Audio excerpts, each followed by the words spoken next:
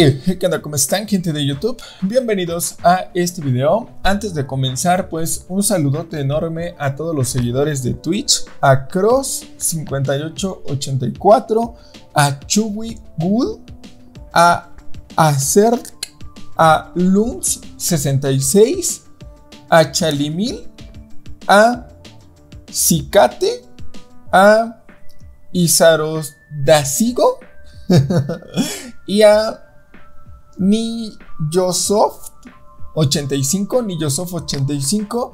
Y el último seguidor que va prácticamente a aparecer aquí abajito es Dani, Dan Juan y ¿no?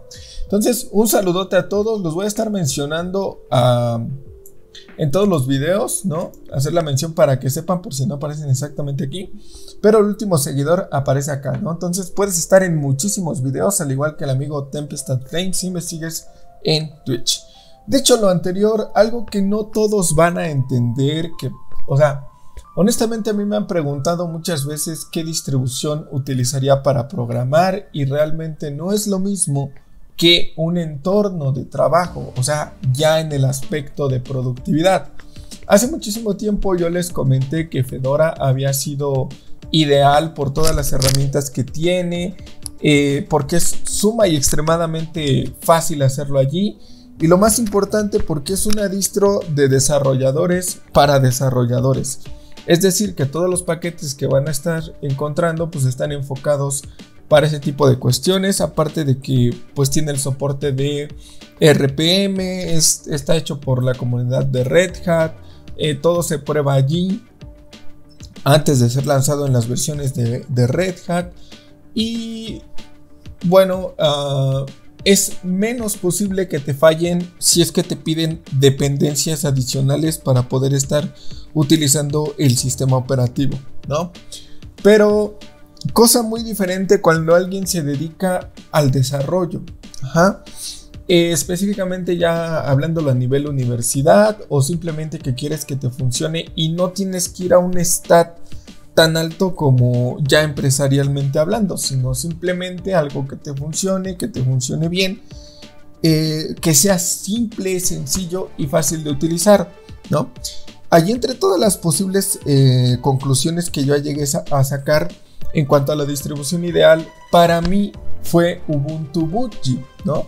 Ubuntu Budgie tiene todo lo necesario para poder trabajar. El problema es que la base está en Ubuntu y obviamente eso le impide um, el tener un buen flujo de trabajo porque pues obviamente tienes algunas restricciones al momento de, estar instalando programas y aparte por la misma base Ubuntu vas a tener eh, algunos bugs, ¿no?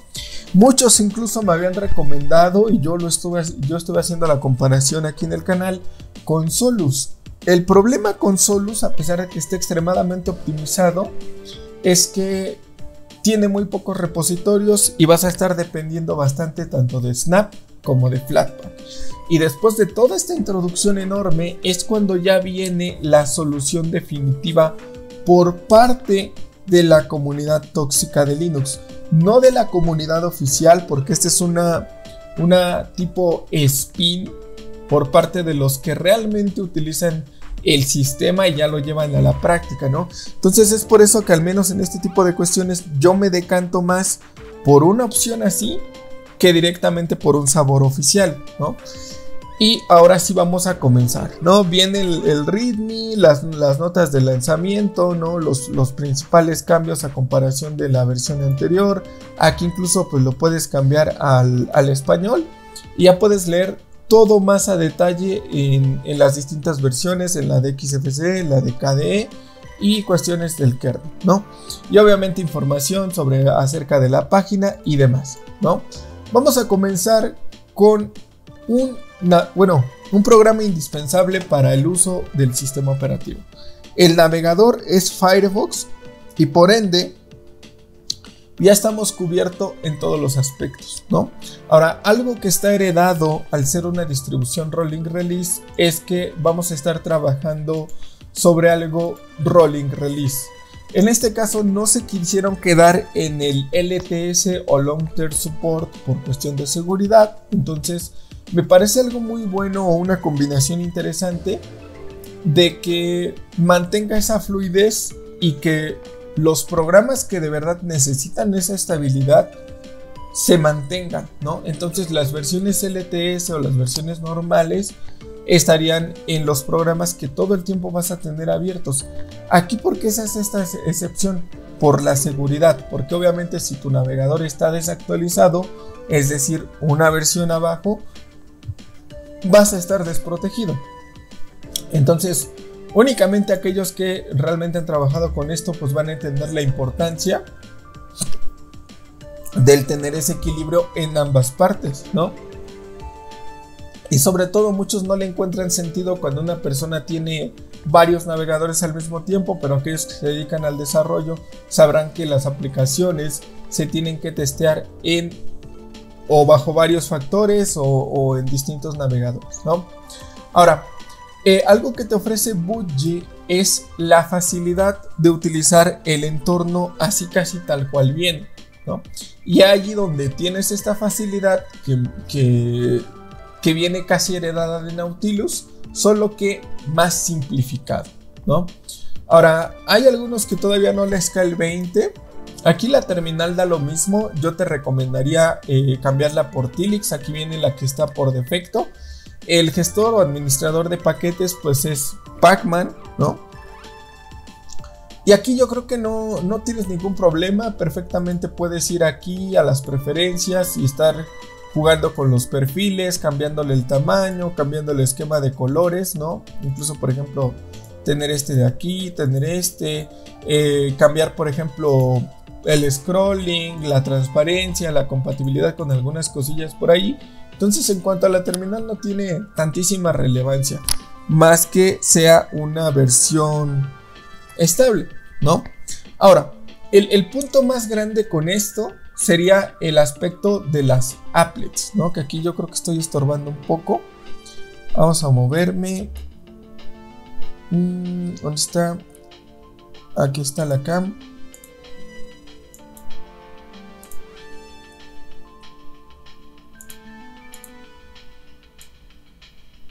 No, sí me muevo bastante. Bueno, me voy a poner por aquí simplemente para que se vea. Eh, tenemos el calendario tenemos las aplicaciones, las notificaciones casi como se muestran en Windows. Esto es muy importante porque aunque tú lo quieras reposicionar en la parte superior, en la parte inferior o del lado contrario, ya es un hábito voltear a la derecha. ¿no? Inconscientemente lo vas a acabar haciendo porque los ojos están hechos para, para empezar de aquí para acá. ¿no? Entonces es muy fácil que, al menos cuando tú estés desarrollando, la vista termine de este lado, ¿no? Obviamente ya se llevó un estudio, ya se comprobó eh, con Windows, entonces se eligió que el aspecto de aquí o el área de notificaciones quedara de este lado, ¿no? Eh, eso ya es algo ya como un estudio psicológico de, de cómo interactúa el ser humano con un equipo y se perfeccionó y se dio por hecho que eh, para obtener ese mejor resultado debe de estar de este lado, ¿no? Ahora, no simplemente te está dando las aplicaciones o las notificaciones, sino los complementos. Y aquí también tú te puedes ir perfectamente de este lado y tratar de ajustarlo ahora sí que a tu gusto, ¿no? Cambiar los iconos, cambiar el tema de cursor, cambiar la posición, por ejemplo, de los botones. En este caso, si quieres habilitar el, tema oscuro para que se vea muchísimo mejor, construir un tema o habilitar las animaciones para también consumir menos recursos. Esto es un punto importante porque tú al quitar las animaciones estás sobreacelerando el sistema, ¿no? O sea, las transiciones van a ser un poco más eh, bruscas, ¿no? Pero al deshabilitar esto, no tienes absolutamente nada que envidiarle a XFCE o LXQT en cuanto a consumo de recursos, ¿no? El comportamiento del escritorio, si es que tú quieres que se marquen los iconos, esto a muchos les suele gustar, hay personas quienes no. Yo soy mucho también de tener este... Eh, el escritorio sin iconos para formarme ese hábito o forzarme en mi caso a tener todo en su lugar en la biblioteca correcta. Obviamente, todo esto ya lo ves cuando estás trabajando, no en el ámbito de casa, ¿no? E incluso pues el acceso a la papelera de reciclaje o incluso estar más o menos viendo qué icono poner y qué icono quitar. Y pues cuántos escritorios virtuales quieres para hacer las transiciones, las fonts que va a estar utilizando el sistema, el tema de aquí y el comportamiento de las ventanas. Eh, si es que tú quieres agregar una característica especial, un espaciador, quieres mover por ejemplo el, reloj de, de posición, simplemente lo vas moviendo de este lado y ya lo puedes dejar como que a tu gusto, ¿no? Puedes incluso eliminar el gadget y agregar todavía más complementos. He allí donde viene pues esto a, marcarse como una solución. ¿Por qué? Porque tú perfectamente, aunque te lo estén dando allí, lo puedes tener como si fuera un Windows, ¿no? O sea, vean esto. Y, y es, o sea, cuestiones de estas, el usuario promedio no las ve. ¿no? Aunque se las pongas en la cara, no las ve, ¿no? ¿Por qué? Porque nunca lo ha utilizado. Esa es realmente la respuesta. O sea, disculpen que me escuche grosero, pero el usuario normal no se ha metido tan a fondo a esto, a este aspecto de la personalización, o incluso crear un panel especial para el uso de, esto, ¿no? Entonces, eh, incluso puedes habilitar el modo doc, ¿no? Y puedes perfectamente sincronizarlo en tener un nuevo panel, ¿no? Eh, así normal, esto en la parte superior, el dock nuevo en la parte inferior, anclas todo y lo pones en el modo dock, incluso ya tienes el área de notificaciones y le da una sentida muy parecida a Elementary, ¿no? Sin ese consumo excesivo de recursos. Entonces es meramente por esos malos hábitos que se tiene e incluso en el modo de dock, si es que no lo alcanzas a ver bien, puedes estar eh, cambiando el espaciado, el tamaño de los iconos y ya más o menos tienes un punto intermedio dependiendo de la resolución de tu monitor y puedes tener un panel desde cero e ir agregando esto o si de plano no te gustó quitarlo, ¿no? Y sobre todo estar controlando las aplicaciones al inicio, por ejemplo la, de bienvenida la quitas, ¿no? Eh, puedes a lo mejor quitar esto de la, de la, del chequeo del Arch User Repository para que no te lo cheque y lo hagas de manera manual, ¿no? Eh, crear un archivo o un template vacío, o sea, aquí prácticamente puedes agregar Pipewire o Pipeware o no sé, anclar un dock externo como por ejemplo Plank y, llama mucho a, uso del usuario, ¿no? Entonces vean, light azul, eh, ya lo puedes ajustar como tal y lo único que tienes que hacer es eh, cambiarle el wallpaper, ponerle uno de hentai y se acabó. Y vean qué bonito se ve sin tantos ajustes, ¿no? Que sí tenemos esta opción donde se muestran todas las aplicaciones que yo considero bastantes, pero a comparación de un XFCE está más ordenado. ¿no? Porque tienes esa categoría sin las opciones adicionales, ¿no? Entonces, esto es un poquito más digerible. Y ahora, vamos a más o menos estar analizando las aplicaciones que de verdad valen la pena en este sentido, ¿no? Una de ellas es el soporte de impresora. El soporte de impresora, ¿por qué es tan importante? Porque si tú lo utilizas en una oficina, ¿no? O tú eres un estudiante o, eres de esas personas que, que quieren hacer esa um, transición completamente a, a Linux, te da una facilidad porque ya no tienes que instalar todo desde cero. O sea, tal cual, un dispositivo que es del tipo plug and play puede funcionar perfectamente aquí. Y no simplemente eso, que si tú tienes una, una impresora de la marca HP, que es la recomendada para Linux, porque prácticamente los drivers los vas a encontrar en todos lados. Y si tiene funciones de escáner, ya contarías con esas funciones directamente aquí, ¿no? Entonces es algo que no todos le dan esa importancia. Obviamente yo no lo inicio porque no tengo una impresora, pero siendo así ya tienes cubierto esto Y otra vez, llevándolo al ámbito de trabajar, se traduce en que tienes una distro out of the box, ¿no? Entonces, si tú eres de las personas que trabajan en una oficina o que meramente, no sé, imprimen demasiado, mandan reportes y cosillas por ahí, ya lo tienes solucionado. Tienes la guía del usuario que te va a servir para, por ejemplo, consultar algunas cosas o dudas que tú tengas acerca del uso del sistema operativo.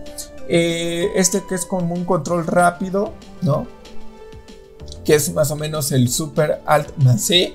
Y puedes incluso tener un comando personalizado. Por ejemplo, si tú le das Shift más suprimir, se va hacia la papelera de reciclaje. Entonces tienes, pues sí, como tal, un accesorio.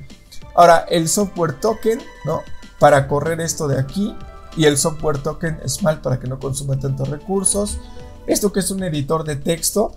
Eh, considero que estas ya son aplicaciones básicas que todo mundo lo va a tener, ¿no? El Wall Street Control se podría decir que es algo nuevo. Y... No sé, no sé por qué lo hayan metido. No creo que él esté sumando. Finalmente uno acaba poniendo lo que quiere. En el aspecto de juegos, pues bueno, tampoco nos vamos a poner tan estrictos en el sentido de que no vamos a tener otras actividades o nuestra computadora no va a ser al 100% para trabajar por esa versatilidad que tendría para utilizarla para otras cosas. He allí donde entra Steam. No son tantos los juegos que son de manera nativa. Yo entiendo y sé que está esa cosa de Proton y Vulkan. Yo sugiero que no sobreesfuercen ni utilicen un sistema de Linux para lo que no está hecho. ¿no? Entonces en ese aspecto dejen los que corren de manera nativa y no hagan cosas raras. ¿Por qué les digo esto? Y ahí la importancia. Miren, les, voy a hablar con la verdad. Tu Linuxtuber favorito dice una sarta de estupideces porque él te dice que sí se puede jugar en, Linux, ¿no? Entonces él te incentiva a iniciar tu cuenta de Steam en Linux, ¿no? Ahora, a cómo trabaja Linux, eh, muchas veces se mete con las librerías o con los archivos que están directamente en el equipo. Y esto, a la manera de trabajar o el algoritmo que tiene en base a Linux, Steam o, la comunidad de Steam lo considera como un cheat o básicamente como funciona Cheat Engine. Entonces, em, te pueden meter un baneo de back por utilizar Steam en Linux, ¿no? Entonces hay gente que sí de plano le ha invertido dinero, ¿no? Así de comprar juegos caros y les pueden banear su cuenta de Steam con tres baneos de Mac o prácticamente la dejan inservible o el juego al que tú intentas acceder ya no vas a poder acceder más en la vida porque ya tienes el acceso restringido o tal vez si entras pero no te va a encontrar partidas. Entonces, yo me estoy antelando a que pase eso porque hay gente que sí, o sea, yo, yo entiendo lo mucho que cuesta conseguir el dinero en ese sentido para darse ese gusto. Y no me parece que a lo mejor tu Linuxtuber te diga, ah, sí se puede jugar, tú bien contento te echas una, dos, tres partidas, en apariencia funciona y te van de la cuenta. Entonces, ojo allí, ¿no?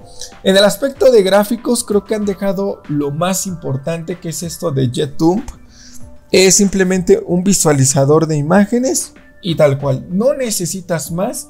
Aquí el punto más importante estaría en que eh, puedes acceder a más bibliotecas, incluso si tú te planteas, no sé, utilizar una ruta adicional como una memoria USB, perfectamente lo puedes manejar desde aquí sin problema, te da acceso a los metadatos, lo puedes poner a pantalla completa, puedes agregarlo incluso a los favoritos y tener todo perfectamente bien ordenado, ¿no?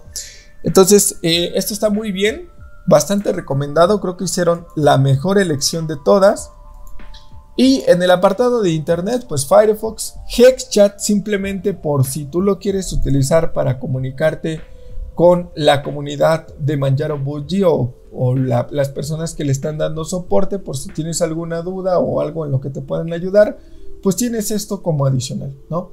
Eh, le puedes dar directamente en conectar y ya puedes, este, aquí, ¿no? Hola, eh, coma espacio, alguien habla español.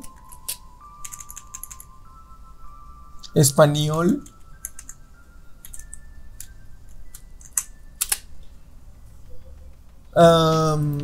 y pues bueno, la, alternativa que pues viene a ser Pidgin, ¿no? Aquí prácticamente puedes incluso importar tu cuenta de acá, agregarla, seleccionar el protocolo, por ejemplo el chat de IRS, tu nombre de usuario, el servidor al que te quieres este, ah, ir, ¿no? Y si es que tiene a lo mejor, no sé, contraseña o es privado, porque por ejemplo la comunidad de Ubuntu pues, tiene su, mismo usuario, contraseña, pues aquí ya conecta, ¿no? Entonces aquí ya prácticamente lo tienes eh, hecho y ya meramente comenzar a interactuar, ¿no? Entonces uno sería más como para el soporte y el otro sería más para uso general, ¿no? Eh, yo a manera personal, ¿cuál prefiero? Pues prefiero Pitwin porque también utiliza el proxy de Tor, ¿no? Otra de las herramientas indispensables para el uso en general y todas las personas que lleguen a trabajar en algún momento en su vida lo van a ocupar es Thunderbird, ¿no? Así seas un estudiante, seas el temido usuario de oficina, seas, seas como que el usuario más casual, sí o sí vas a manejar una cuenta de correo electrónico, ¿no? Entonces, Thunderbird yo creo que es la, selección por excelencia porque tiene prácticamente todo. Tiene desde temas, tiene plugins, tiene extensiones, eh, es altamente personalizable, le puedes meter muchísimas más cuentas. Entonces muchos lo que me siguen preguntando es que cómo le hice. Pues simplemente cuando o te metes a las preferencias o le das con el comando de Alt y desde aquí, desde el archivo, puedes agregar una nueva cuenta, ¿no? Una cuenta ya existente y desde aquí puedes administrar muchísimos más correos. Esto sí es un plus enorme, algo que a mí me gusta bastante. Y creo yo que ya se está despegando del open source. ¿Por qué? Porque pues ya lo ven más como una tipo necesidad, ¿no? Eh, si ustedes quieren, ahorita se me acaba de ocurrir algo. Eh, se pudiera hacer una instalación de este entorno, agarrarnos de Manjaro, que ya tiene el instalador Calamares, que ya tiene un entorno muy funcional, y hacer la transición a un parábola Linux, que va a quedar chulo, va a quedar hermoso, ¿no? Y este, si ustedes quieren ese video, pues coméntenlo. Eh, transmisión, simplemente porque no es que nos dediquemos a actividades ilegales los usuarios de Linux, sino que eh, muchas veces, pues debido a la lo geek que son algunas personas, pues se van por algo más exótico, ¿no? En ese sentido, aquí es donde herramientas como estas que son transmisión, pues ya te permiten un poquito más de, de libertad, ¿no? Y incluso para algunas cosas, como lo es descargar completamente archivos enormes, pues resulta más fácil descargar mediante torrent, ¿no? Entonces eh, es una solución que ya prácticamente es un estándar en los Linux. Y esto estaría dándole solución a todo. No tiene publicidad, es de las pocas aplicaciones que hacen su tarea así tal cual, no te exige absolutamente nada. Y eh, está muchísimo más por encima que eh, Qt Torrent, que eh, Acerus Bus, que uTorrent. ¿Por qué? Porque no te mete publicidad, ¿no? Entonces, tienes esta alternativa que obviamente te da más información, pero yo de primera instancia, a pesar de tener o ya las librerías preinstaladas para que funcione esto, me, acabaría quedando con el básico, con transmisión, porque muchas veces yo soy también de hacer una sola tarea a la vez y esto me da un poquito más de versatilidad, ¿no? Este, disculpen que esté yo volteando a cada rato, pero son cosas como que del trabajo, Tengo que estar haciendo algunas cosas como remotas, autorizándolas. Este, y bueno, eh, aquí también tienes algo por lo que la comunidad se estuvo peleando y que prácticamente se hace una guerra por esto. Eh, OnlyOffice creo yo que a estas alturas, sobre todo hablando de un, perfil ya de un usuario avanzado, que sería el de Arch, no consideraría que alguien de este nivel utilice aplicaciones de oficina, ¿no? Tal vez meramente aquí lo están haciendo como más como visualizador que como herramienta de uso cotidiano, ¿no? Pero bueno, si tú eres el usuario de casa, el temido usuario de oficina, lo más probable es que sigas ocupando o dependiendo de este tipo de herramientas, ¿no? Si es que es así, esta es una solución rápida. De hecho, incluso algo que a mí me gusta bastante de los cambios que ha tenido Manjaro es que durante el proceso de instalación ya te pregunta si quieres eh, Office o no. Entonces, esto ya te lo da un poquito más a criterio propio. Tanto ellas se, ahorran de problemas como le quitan peso a la imagen ISO y, o sea, queda, queda bastante bien.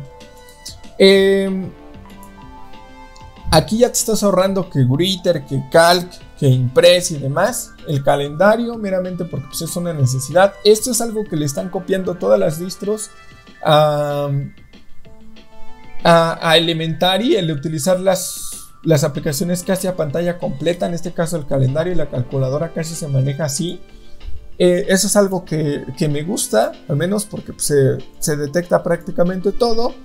La herramienta indispensable y que prácticamente le dio la fama a Manjaro, la que la llevó a donde está, que es PAMAC-AU. Aquí prácticamente tienes en las preferencias la posibilidad de habilitar el Arch User Repository y tener todo el software habido y por haber. Y aquí tiene, o, sea, aquí tienen el punto más importante, porque una vez que tú haces esos cambios y que cierras y vuelves a abrir la aplicación y tú aquí vas y buscas herramientas como por ejemplo Google, Chrome, ¿no? Ya te los estaría dando como resultado, ¿no?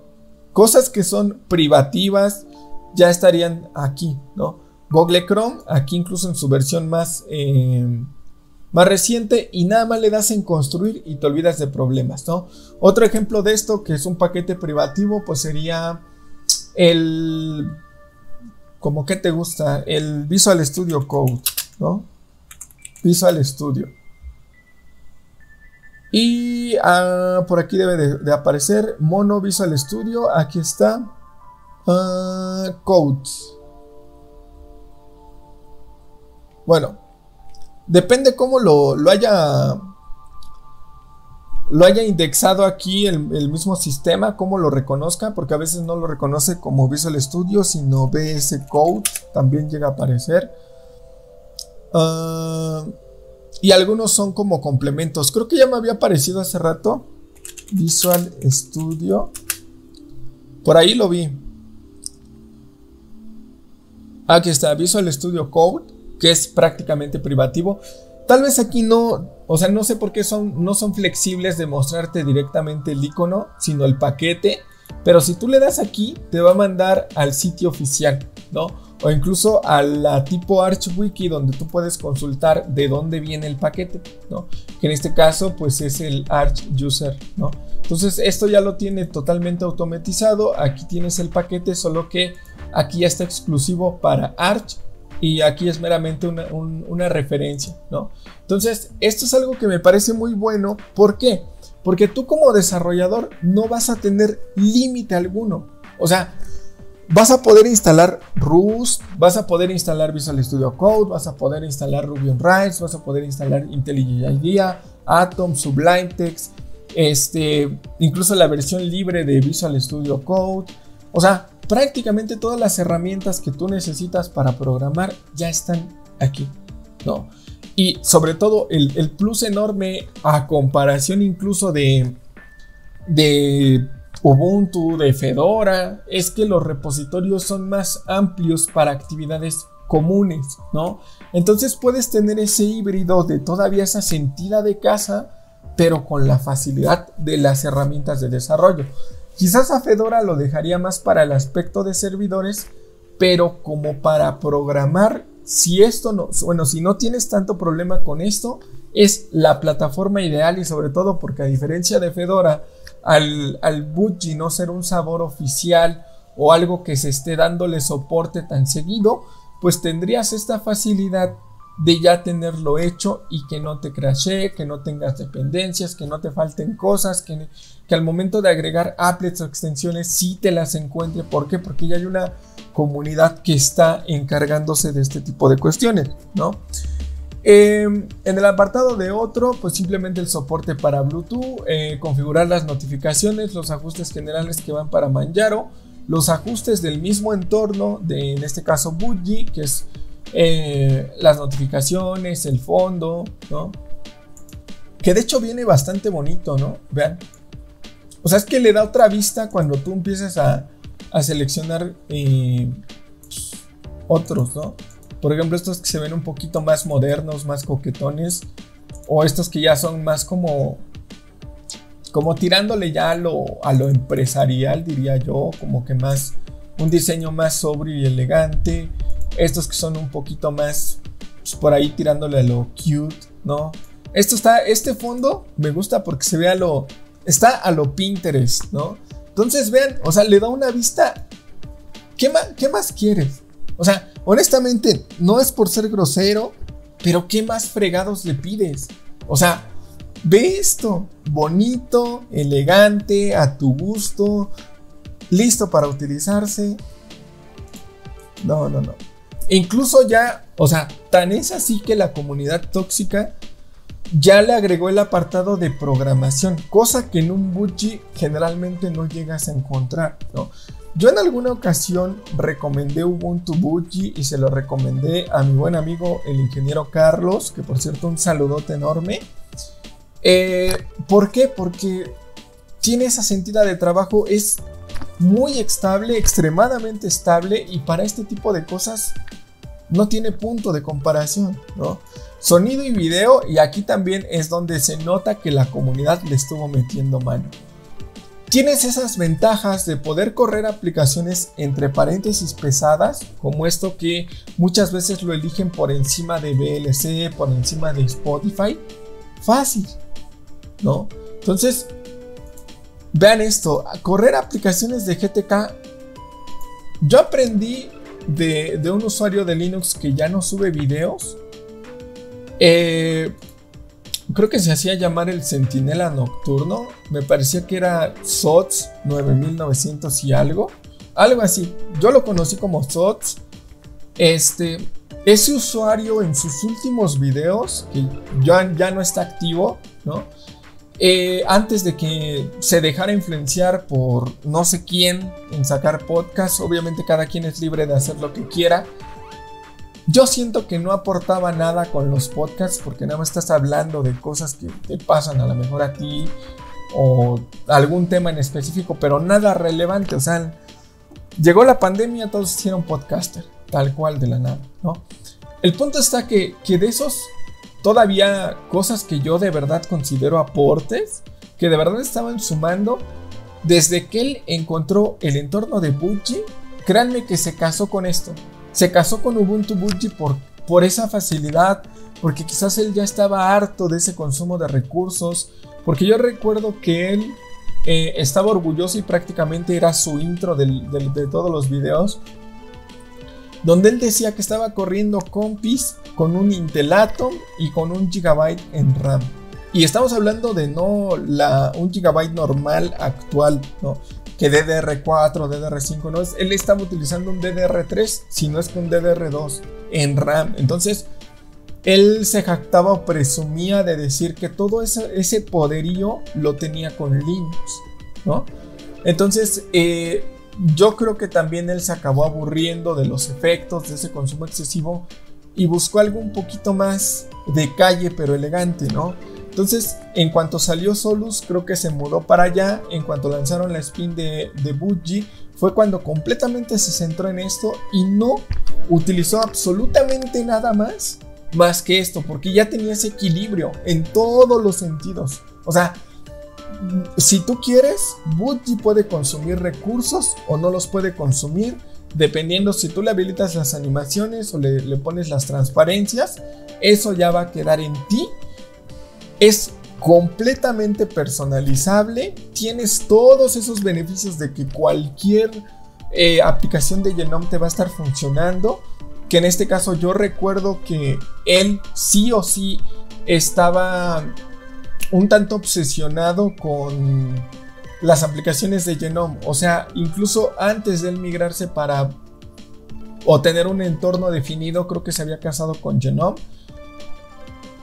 Y ahorita, ahorita día de hoy, en pleno COVID del 2021, debo de admitir que después de muchísimos años, porque ya ha pasado mucho tiempo, estoy comprendiendo el por qué lo eligió como, como entorno de, escritorio o entorno de trabajo. O sea, hasta apenas me está cayendo el 20 y es que tú, si te sientas, no sé, 15, 20 minutos a analizar el cómo está estructurado, está pensado para programar, para desarrollar, ¿no? Y sobre todo, si tú ya tienes experiencia en el área, vas a ver que la apariencia es lo de menos. Prácticamente, ya como desarrollador, lo único que necesitas, una taza de café caliente un IDE, el que sea, porque finalmente después de un rato te acaba dando lo mismo. Y el entorno es lo de menos. Pero a diferencia de todos los demás, aquí tienes estas facilidades. Entonces, creo que siento que debí de comenzar la review al revés y mencionar todos estos puntos positivos y no hasta el final, ¿no? Pero al mismo tiempo sí y no, ¿por qué? Porque el, el desarrollador promedio se espanta, le dices, ah, es para desarrollador y se va, ¿no? Hubo incluso un intento que se llama Manjaro de Developer Edition, que eligió KDE y le metió herramientas de desarrollo, ¿no?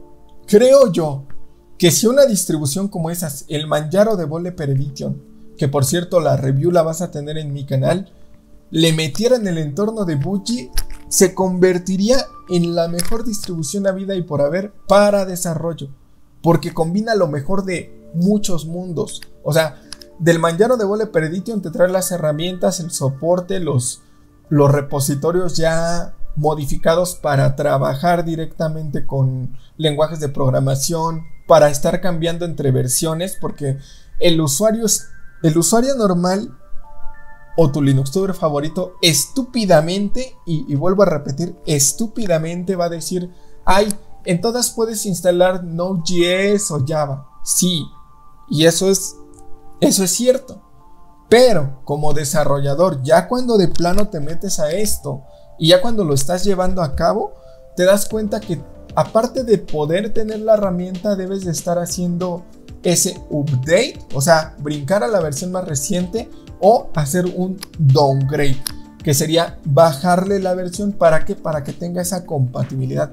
Y sobre todo aquí en, una distro rolling es lo que hay que cuidar, ¿no? Entonces debes de tener a lo mejor Node.js, sí, pero con la facilidad de estar em, cambiando entre la versión 13, 14, 15 y demás a tu antojo. ¿No? Entonces, ese es el plus del Manjaro de Developer Edition que siento que le haría falta aquí, ¿no? Porque aquí se sigue manejando con eso rolling y eso es muy importante, ¿no? Y aquellos que de verdad se han dedicado a esto me van a dar la razón, ¿no? Ahora, tiene lo mejor de muchos mundos. La estética, siento que con este wallpaper a lo Pinterest lo tiene. El consumo de recursos lo tiene. El flujo de trabajo lo tiene. La facilidad, el ser una distribución semimodular y out of the box lo tiene, ¿no? Entonces, aquí finalmente ya solo es poner tu configuración a que con el pan. Aquí tenemos la facilidad de nada más personalizarlo, terminar de llenarlo, que no te gusta el, que, que no te gusta el software privativo, que estás ahí chillando porque quieres un hijo de Richard Stallman, allá tú, que quieres que Linux Torvald te felicite, sí, utilizas Linux, muchas gracias. ¿Quieres que pase eso? No va a pasar, ¿no? a ellos les da lo mismo que lo uses o no. El punto está en que ya depende de ti si utilizas algo privativo o no. Y siento que honestamente, ah, si tú a una empresa llegas con tu, tal vez tu diseño no hecho en Illustrator, no hecho en Photoshop, se lo llevas en el formato de GIMP, te lo avientan en la cara, te hacen prácticamente esto. Ajá, literal.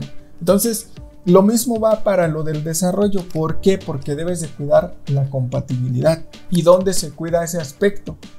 Utilizando las herramientas correctas. Ajá. Entonces, si vas a, porque muchos también me critican, ¿por qué utilizas Visual Studio Code teniendo eh, Atom, que es libre? Porque ya es más fácil utilizarlo, porque los complementos están allí y por la facilidad de enlazar cosas de C directamente con un equipo de Windows, ¿no? Entonces ya casi te está dando ese resultado a que si lo trabajaras de manera nativa, ¿no? Entonces, como esas críticas vienen de personas que no lo han utilizado, he allí que lo ven todo simple e igual, porque no han tenido ese tipo de dificultades, entonces no saben el porqué de las cosas. Y siento yo que ya yéndonos a ese perfil de usuario, deberíamos de dar por hecho que sí o sí, para poder aprovechar el máximo de recursos de procesador y de gráfica, deberíamos de instalar los drivers y muchos de ellos son privativos o propietarios, como tú le digas. Entonces, eh, he allí el por qué se maneja así o el por qué te están metiendo cosas como Thunderbird, que unos que sigue la discusión, hay que no es libre porque le pertenece a Mozilla, que sí es libre porque aparte, aparece en la store, ¿no? Entonces, eh, pues aquí ya meramente lo dejaría a gusto, no lo tomen como regaño, tómenlo como, como una manera de entrar en conciencia porque si tú eres desarrollador, aquí le cambian los iconos, le cambias el tema y chulada de distro. O sea, yo incluso he intentado migrar esto, llevármelo a Fedora y no he podido porque le faltan todavía cosillas. Pero esto es lo más cercano a algo realmente pulido, bien hecho y listo para utilizarse.